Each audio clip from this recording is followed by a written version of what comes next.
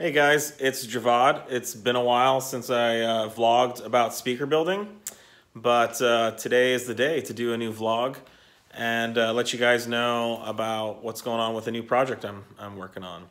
So the Enthralls project, hopefully you've been following that uh, on the DIY loudspeaker project pad. Uh, if you're not familiar with the project, it's uh, under the announcements on the Facebook page and a lot of detail, a lot of information that I've posted. Uh, latest I've posted is the final crossover design and schematic. And um, I'm probably going to do a part 14 about just final enclosure assembly. And then uh, the final will be uh, the, the, photography session that I do, photographing the final finished enthrall speaker. And uh, I'm waiting on a couple cool little trick things uh, that I'm finishing up on those.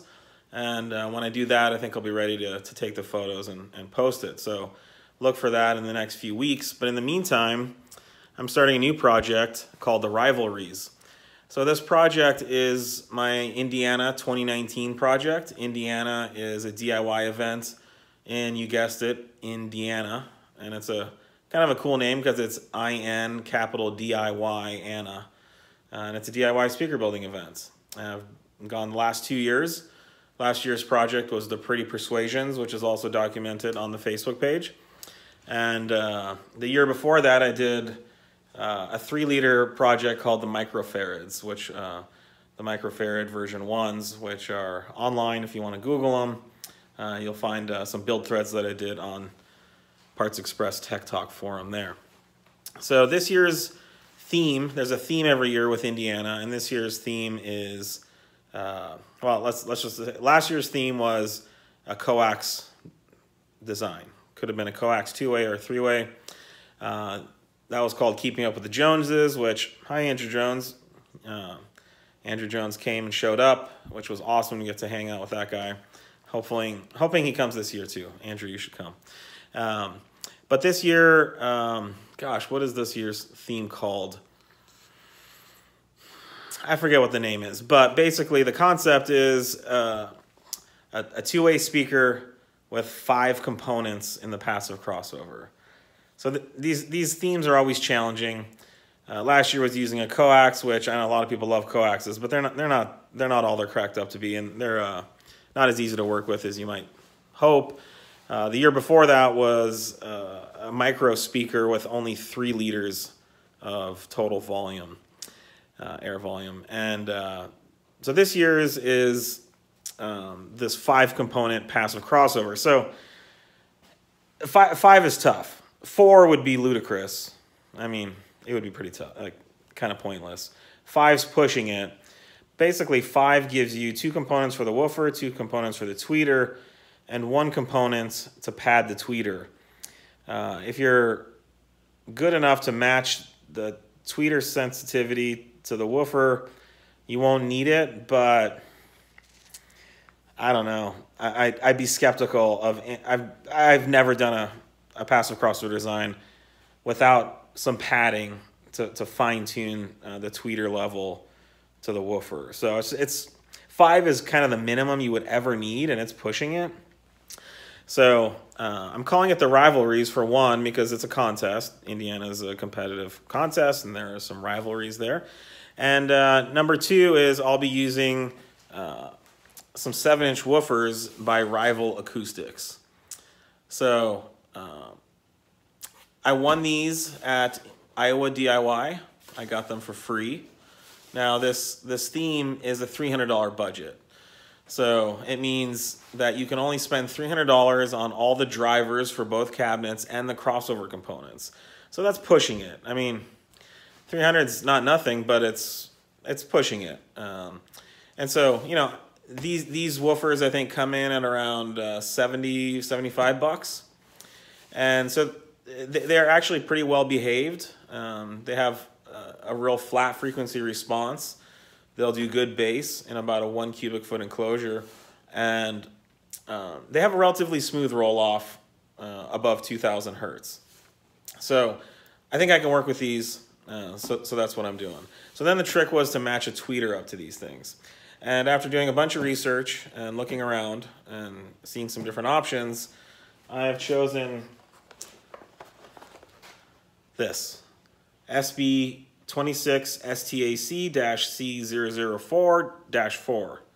Oh, you guys need easier names. So, this is a great little tweeter, 26 mil dome. Let's take a look at it here.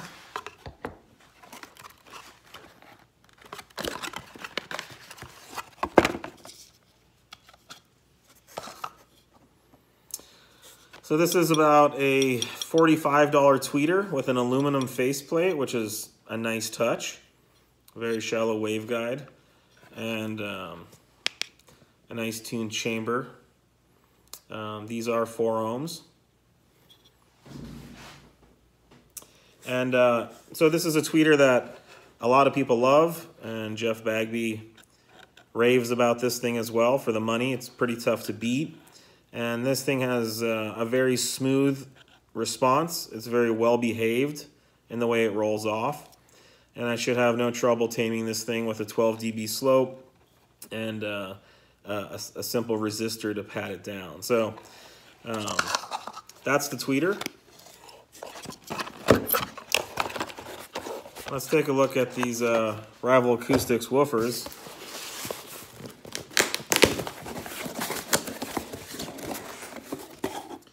Comes with a gasket.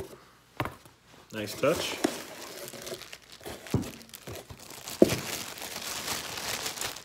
So this is the Rival Acoustics R176-P-08. A really nice uh, woofer, very substantial. It has a, a non-pressed kind of a pulp paper cone a lot of travel. I think it's about 8 mil of X-Max. You can see it's got plenty.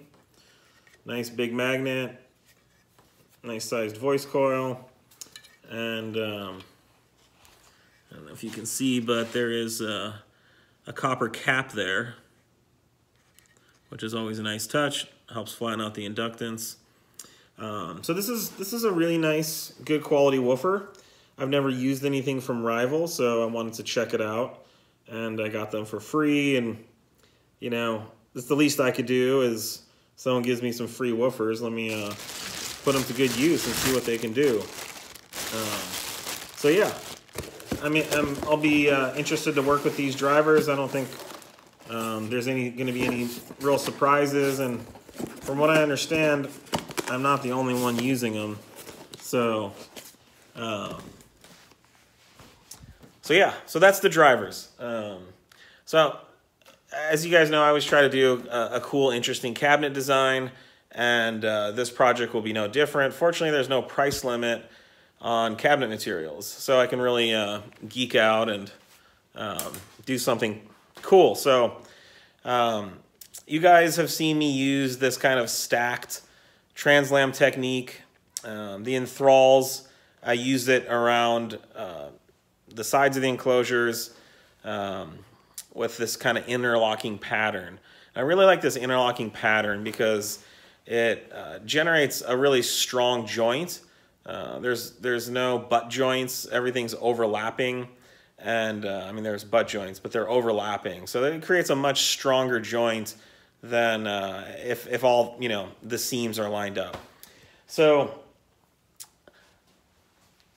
so I'm, I'm doing a translam construction and uh, I'm going to be stacking layers vertically to create the enclosure from left to right. Um, so here, here's, here's where I'm starting out. So this is some really cool plywood that I found at Aura Lumber. This is actually solid maple plywood. That's, it's about 18 mil thick. So it comes in right around 0.72 inches thick, and it is solid maple all the way through. So it has a nice maple veneer, which I'm not going to be taking advantage of. But this is extremely strong, dense plywood, and I would consider this even a step up over birch plywood. Um, it's certainly a lot more expensive. As you can see, it's, it's beautiful, it's very void free, and um, this is about $170 a sheet for a 4x8 sheet. Um, I've already broken it down, but um, it is solid maple. So um, I don't know if you saw my post the other day, but I went and picked up some beautiful figured maple from another local place called Global Source Lumber. Take a look at that. You can see this figure here. So this is rough skip planed. This will really pop once I sand it and finish it. You can see I have four pieces. So I'll be, I'll be using these pieces to cap the sides. So it's going to be plywood across left to right, and then the end caps on each side, or the sides, will be solid figured maple. Um, and, you know, I'll have some bragging rights that this is going to be a solid maple enclosure, even the plywood solid maple. So the first thing I did is I created this template. So this, this template will allow me to create the first layer and then once I create that first layer, I can, I can stack and build and flush cut. So this is the profile. These are gonna be about 40 inches tall. I have a generous radius at the top here. This is the back. This is the front. So tweeter and woofer will be located here. And this nicely finished template will allow me to generate the first layer of each cabinet and then from there I will flush cut each additional layer as I lay them, lay them up. I also created templates. So these are my four templates for, for the four critical pieces.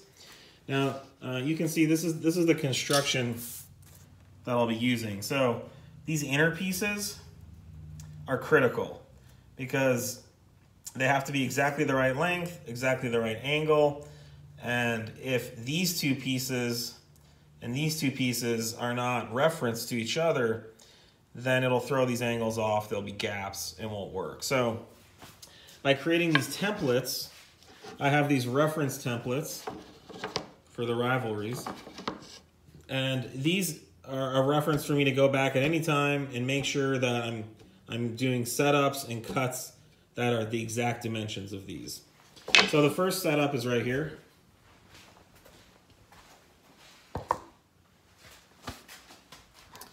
So this is a fi fixture I built. And you can see I use these templates. So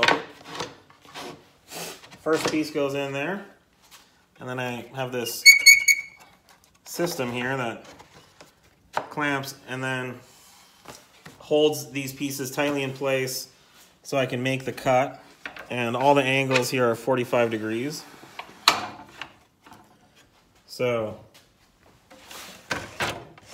I can make my cuts repeated and the exact length isn't as important as the fact that every piece is the same. Um, so I have these stop blocks here and these holes are slotted. And so I've been able to fine tune these stop blocks and these both these pieces are referenced and aligned exactly in the same place. So when I make these cuts, I will put both pieces in here, make the cut, and I can be ensured that they're identical. Um, so there's this little feature here, but this is kind of tapered, that pushes in, there's no slop, there's no movement, and this whole setup is solid maple and it creates a spring. So it actually holds everything tightly in place. So that's the first fixture. This is the second fixture I built. You can see this is a miter gauge. And so in here, let's get our reference piece. Okay.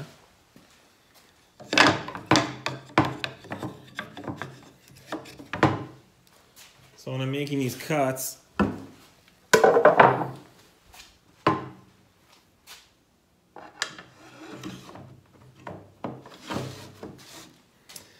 so I can locate the pieces and make perfect cuts every time the same. So uh, I actually used this jig to cut all these pieces. And so these are the production pieces for reference A. And I'll be using those to build the enclosure. So these are all pieces that I've cut so far. So all critical uh, dimension pieces are lettered A, B, C, D. And then I have other pieces that aren't critical. These are the outside pieces, and these are numbered one through four. And so I have a few more cuts to do. I actually have to go get a little bit more plywood tomorrow because I um, used a little bit more than a sheet. So I'll just need a little bit more. Um, and then uh, what I'll be doing is I'll be building the very first layer using this template, right? And so I'll glue that up and, and create the first layer. And then subsequent layers will stack and each layer will interlock between this pattern and that pattern to create the overlaps, okay? And I don't do any CAD drafting or, I mean, I do it at work, but uh, when I'm building speakers, I don't want to do that. I want to do everything by hand and I want to do everything out of my head.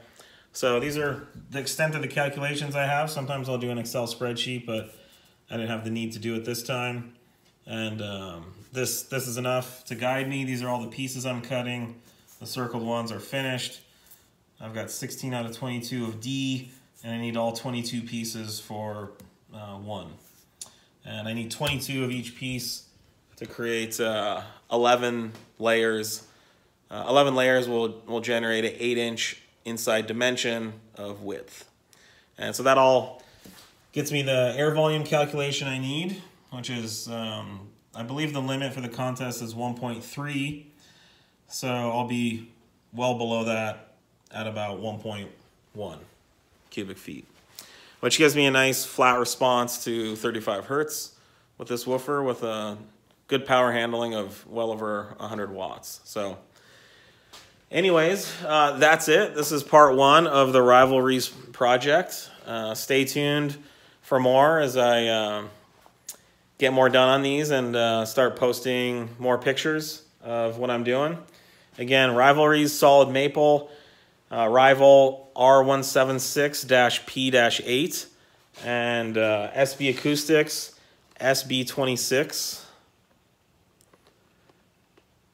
STAC-C004, C000-4. So very popular tweeter. All right, guys. Thanks for following along. Appreciate it. And uh, look forward to the next update.